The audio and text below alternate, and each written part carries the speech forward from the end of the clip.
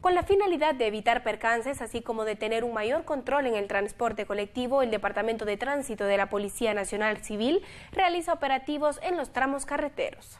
Como parte del plan operativo de fin de año que realiza el Departamento de Tránsito de la Policía Nacional Civil, a nivel nacional. Este viernes continuaron con acciones que buscan tener un mayor control en el transporte colectivo para estas fechas. Objetivo es realmente motivar a los pilotos a que se conduzcan de forma responsable en la vía pública que no abusen de los límites de velocidad establecidos, que no sobrecarguen las unidades, ya que un hecho de tránsito puede ser un bus involucrado, pero puede dejar alrededor de 50 personas fallecidas o lesionadas. Lo que se quiere es que este fin de año sea un fin de año con cero accidentes. Sabemos que se requiere mucho de la población, debe de haber eh, una armonía para poderse conducir en la vía pública, no conducir en estado de ebriedad a excesiva velocidad y también a los peatones que utilicen las pasarelas. En este caso, pues estamos en las terminales y las acciones operativas finalizan el 4 de enero del 2016.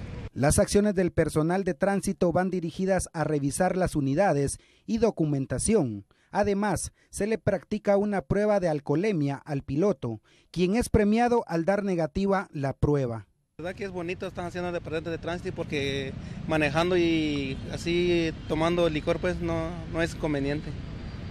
a mí sí me motiva mucho, porque a veces también hasta los carritos van ebrio y a veces ellos provocan a uno debe ser así general para carros y buses.